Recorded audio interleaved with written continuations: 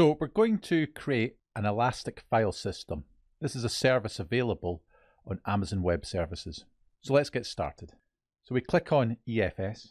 This brings us to the portal for the Amazon Elastic file system. So we'll click on Create File System.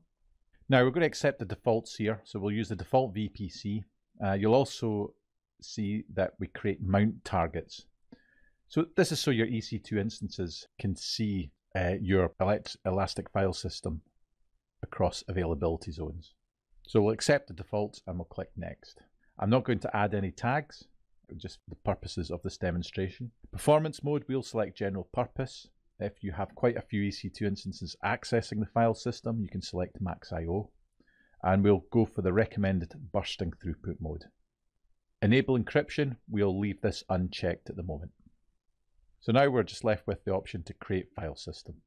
And that's the file system created. So I have Linux EC2 instance and we'll mount the file system from that instance using NFS. So if we refresh this, you'll actually see the mount targets are still creating. So we can now see our mount points are available. So let's go across to the EC2 instance. The first step is to attach this instance to the same security group as the Elastic file system. So we'll just tick that checkbox and that will let the EC2 instance access the EFS.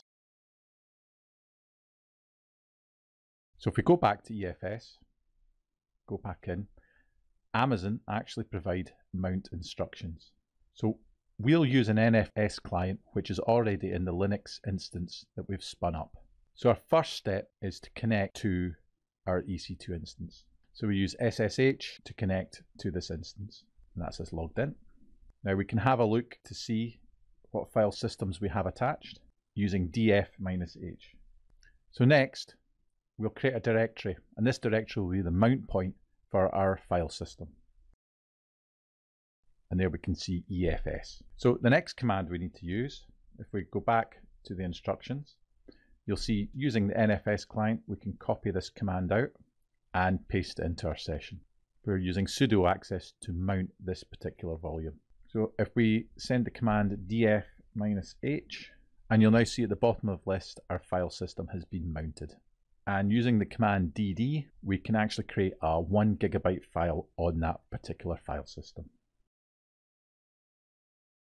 And now you'll see that's created successfully. Thank you for watching this video.